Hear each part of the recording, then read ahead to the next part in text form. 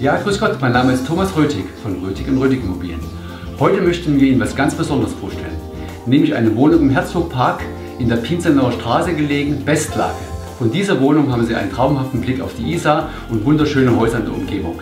Es handelt sich um eine Zwei-Zimmer-Wohnung mit 65 Quadratmetern, bestens geschnitten. Zur Wohnung gehören selbstverständlich ein Tiefgaragenstellplatz, ein großes Kellerabteil sowie eine Sauna im Untergeschoss dazu.